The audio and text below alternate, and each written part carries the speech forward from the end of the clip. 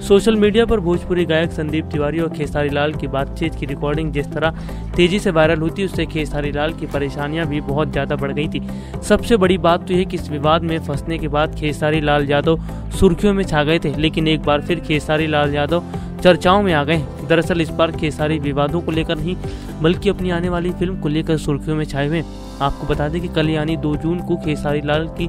Film दिलवाला release होने वाली है और इस फ़िल्म में खेसारी के साथ अक्षरा भी नज़र आएँगी। वहीं दर्शकों की निगाहें इस फ़िल्म पर टिकी हुई है। यह हम आपको याद दिलाना चाहते हैं कि अक्षर सिंह ने खेसारी लाल के साथ काफ़ी समय पहले फ़िल्मों में अभिनय करना छोड़ दिया था, जिसकी असली वजह बताई गई थी कि कुछ समय पहले खेसारी लाल, काजल राघवानी, पवन सिंह और अक्षरा पार्टी में गए हुए थे, जहाँ पर हँसी मज़ाक करते हुए अक्षरा सिंह ने काजल राघवानी का रिश्ता खेसारी लाल से जोड़ते हुए कुछ बातें कह दी थी, जिससे खेसारी काफ़ी गुस्सा हो गए थे। और ये बात इतनी बढ़ गई थी कि उन्होंने अक्षरा सिंह के साथ फ़िल्मों में अभिनय न करने की ठान ली थी।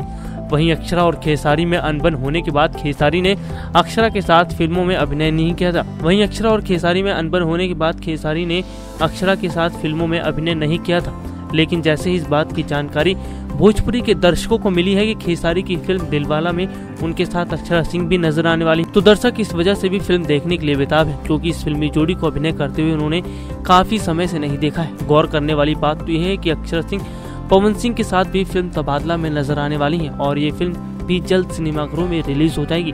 अब देखने वाली बात तो यह कि दर्शक किस सुपरस्टार की फ़िल्म को ज़्यादा पसंद करेंगे और किस फिल्मी जोड़ी की, अभिनय की ज़्यादा तारीफ़ करेंगे। नेक्स्ट नाइन न्यूज़ रूम से राहुल की रिपोर्ट